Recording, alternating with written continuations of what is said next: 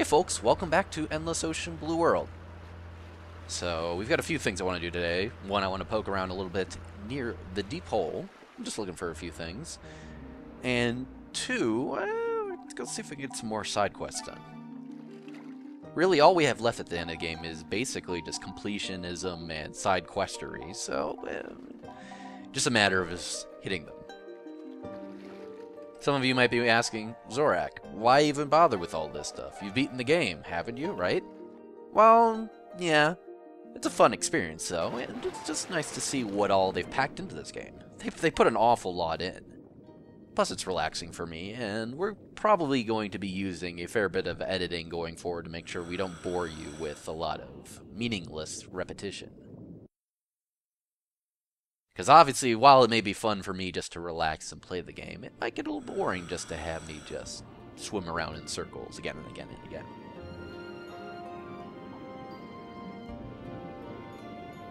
But while we're diving, I just want to talk about a few things. Uh, one thing I find interesting, and I find many things interesting, gonna need this picture of this uh, hump head wrasse, as you may recall. It's one of the side quests. Gotta need this for the guy. The guy with the amnesia. Horrible, horrible fish amnesia. So, yes, the thing I want to talk about. So, phylogeny. You know, phylogenetics.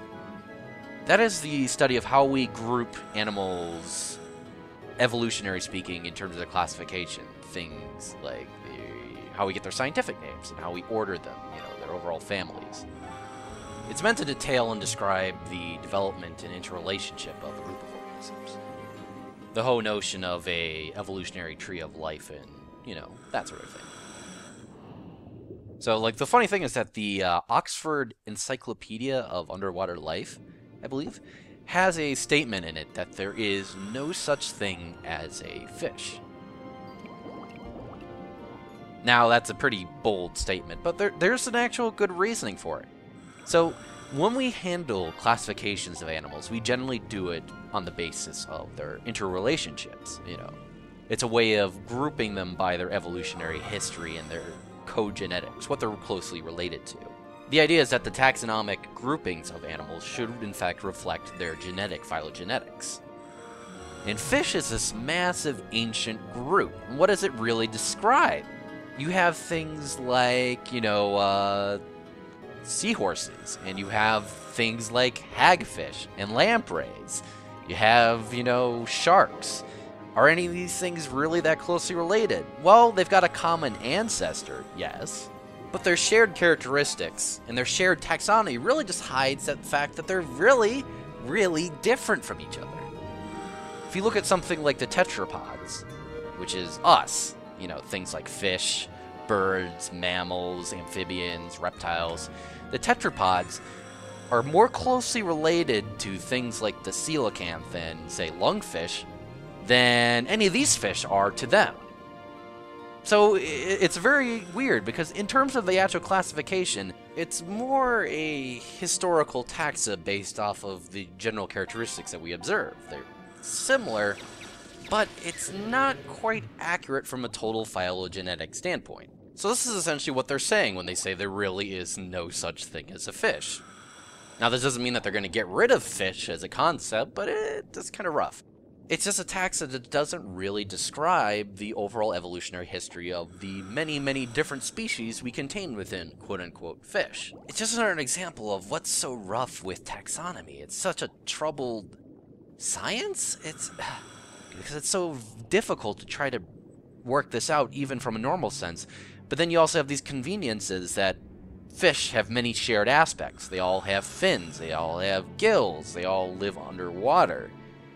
But at the same time, that doesn't mean that they're very closely related. It just means that they have very similar traits. And that's not that they convergently developed these traits. No, they just have a common ancestor, and they've long since gotten way different from each other.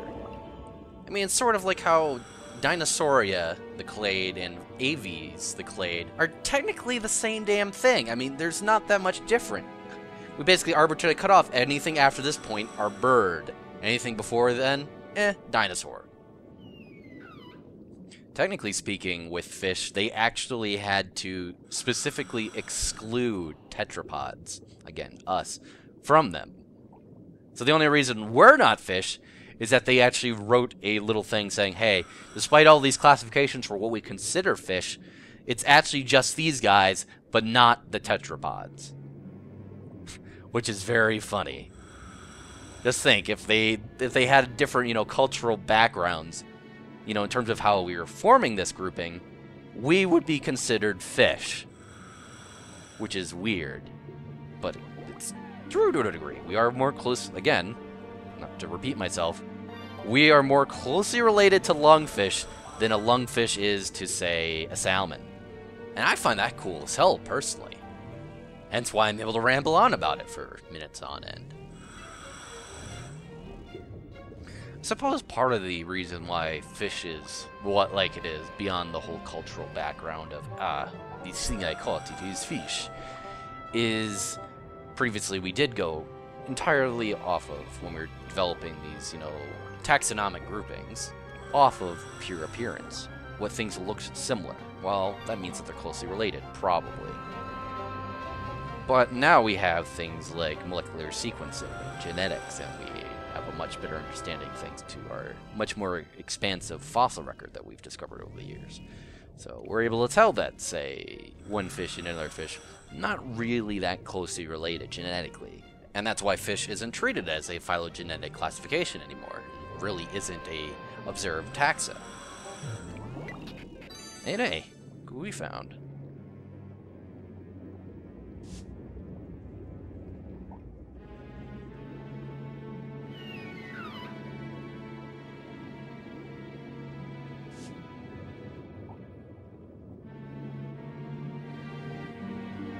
Could be some other legendary sunfish. You don't know.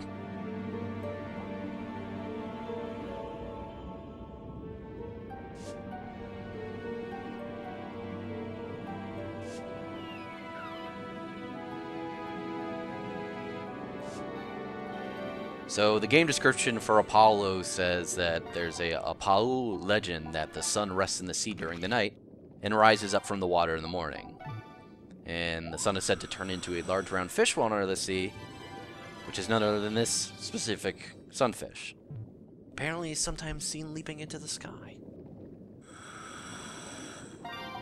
An interesting fact about sunfish is that in English it is, yes, called the sunfish. But in Spanish, Italian, and German, it's called the moonfish. Everybody's really stuck on referring to them by celestial objects. Which is, you know, fair enough. They're pretty round fish. So many sunfish facts revolve around their shape. I hope I'm not the only one that's noticed that over the last two games. Alright, let's return to the boat.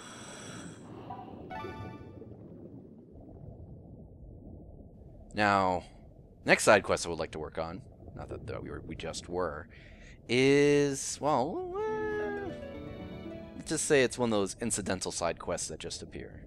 So let's just go travel over to the Red Sea. Maybe something will happen. We shall see.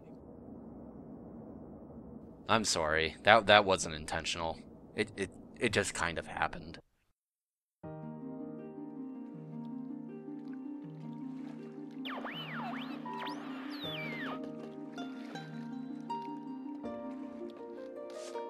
whale crisis strikes.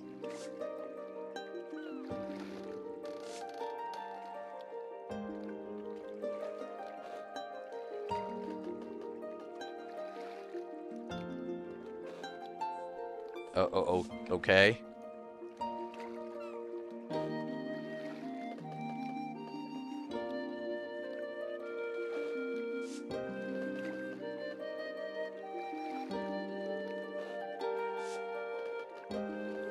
Huh. Y'all want in?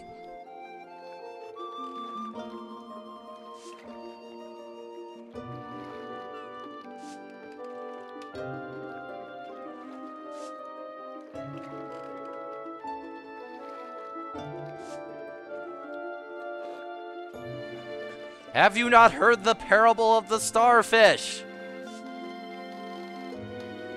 Does that exist in French? Starfish, Oceana. Starfish.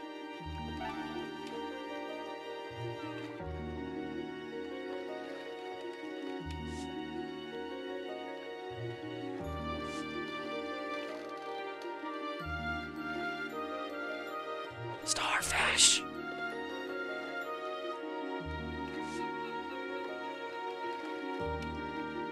Also, they're, they're sentient, so, you know.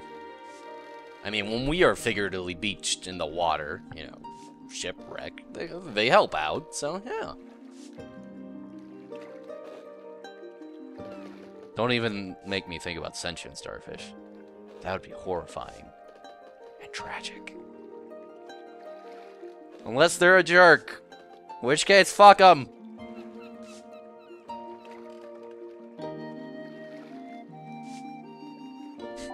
Yes, you in fact have the option just to put it off to later. Just assume that pod's like a million miles away.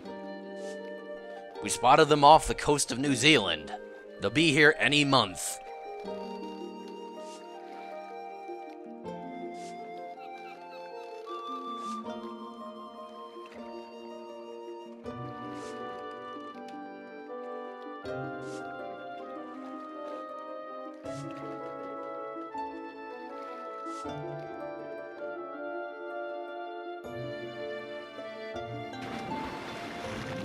So, beaching occurs to about eh, something around the range of like 2,000 animals per year. And uh, though basically every whale that beaches themselves uh, typically results in death, it doesn't result in a major effect to any one group because it's pretty spread out between the different species. I mean, there's only 10 species that commonly have mass beaching or beach rather frequently. But the overall number of whales that beach isn't significant. The whales that typically beach themselves are toothed whales rather than baleen whales, uh, much like these sperm whales here. It does seem to happen most commonly with deep water whales and communal whales, much like, again, these sperm whales. Though it does also happen to things like pilot whales and uh, some beaked whale species.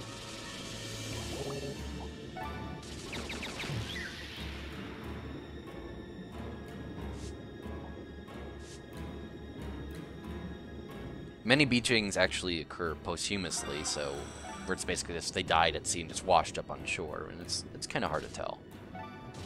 Obviously, when most whales die, they just create a whale fall on the ocean floor. Eh, but that's not always the case. So getting the exact numbers down is a little tricky.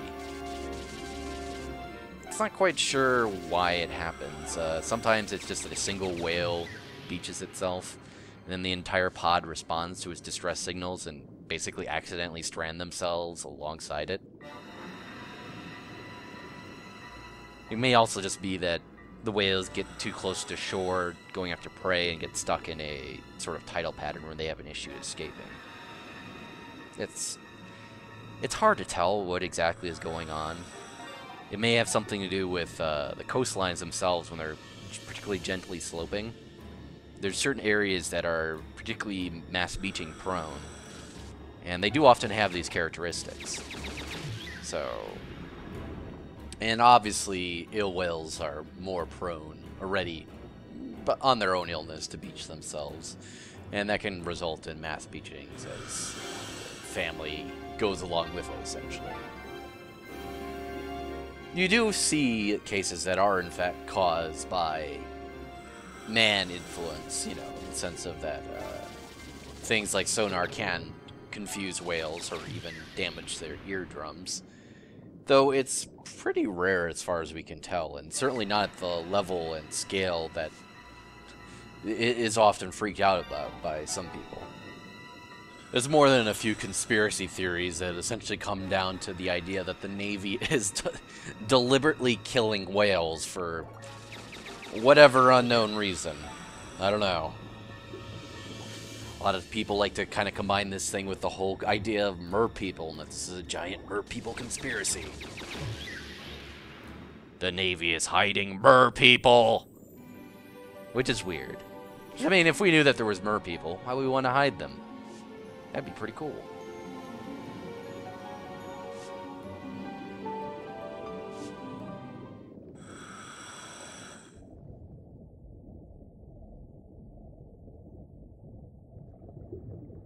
It's often very difficult to get rid of whale carcasses when they do beach themselves. There's that great story of a, uh, what was that? It was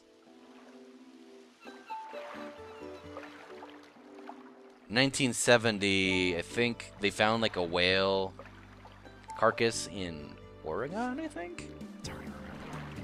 They had a whale carcass in Oregon, and they tried getting rid of it by blowing it up with dynamite. Because, you know, that's that's how you would, you know, deal with, like, say, a boulder that got stuck in the way. Make it small enough pieces, the whale, and scavengers should be able to eat it. So they it's like a half a ton of dynamite on it, and, well, didn't end very well.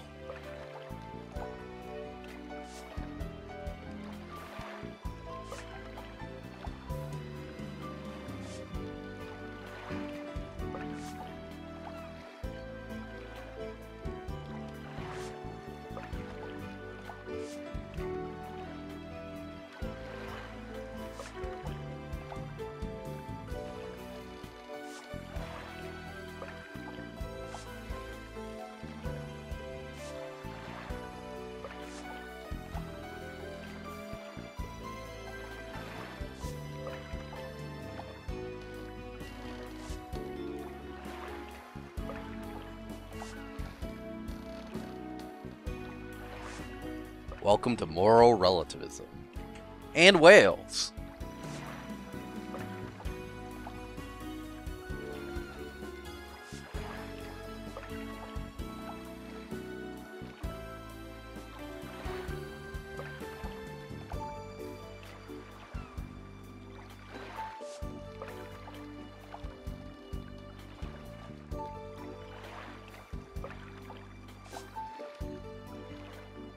You, viewer, in the audience, watching this LP of a video game.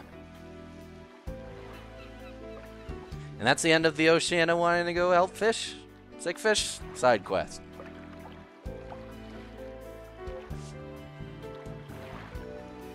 We helped.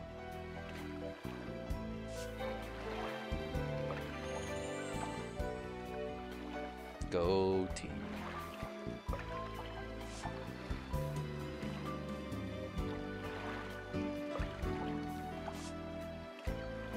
Yeah, yeah, uh, sure. How sick were they? Can I see diagrams? Yes? Uh-huh. Uh-huh. Uh-huh. And there's like 49 that you didn't have to even fucking bother. Way to go! Alright, let's call Nancy. Let's have her look at our shit.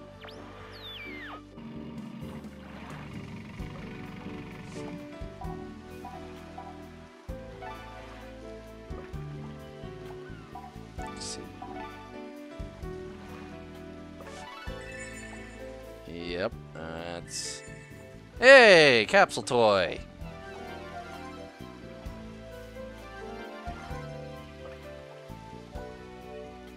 Well, there you go. We're slowly getting there. We're nearly halfway to 100k, which is one-tenth of the way to our final goal. Yeah, I need to change hairstyle. This hairstyle is terrible. We have endured it long enough.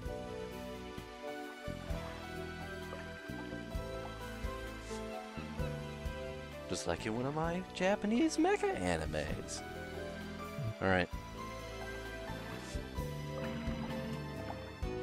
Let's look at these items that we just bought again. They often have funny descriptions, and those are great.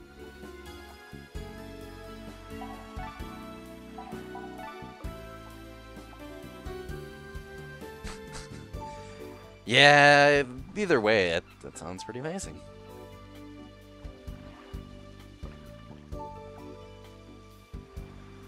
A lot of weird Japanese capsule toys. That's just I'm just making a general observation.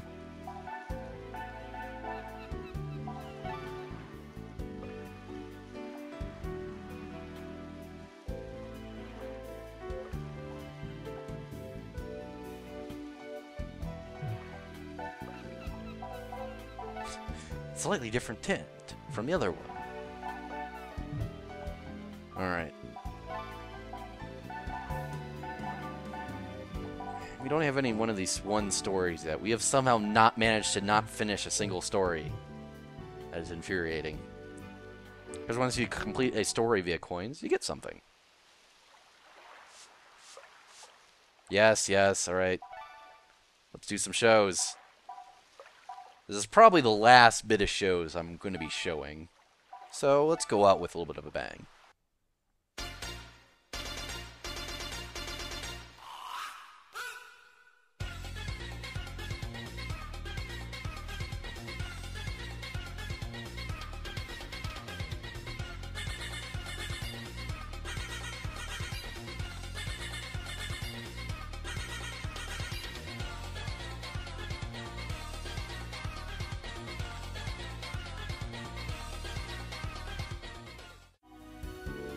Alright. Give me the bragging rights.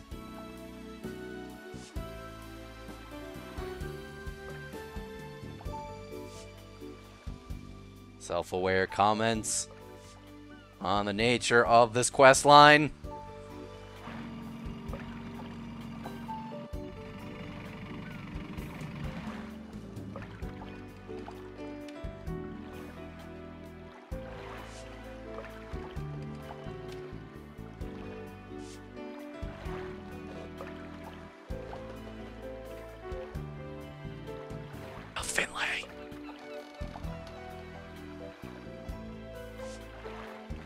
No, we have never heard of the Narwhal.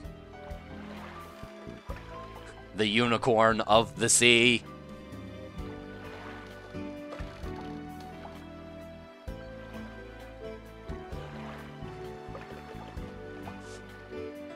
No, never.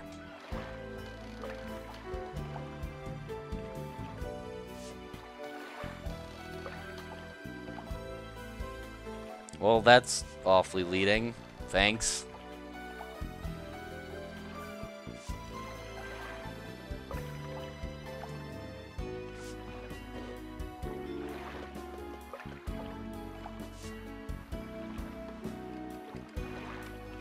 Thank you for the hint, I guess. Maybe we'll do that next time. Maybe we won't. I don't know. Yeah, probably.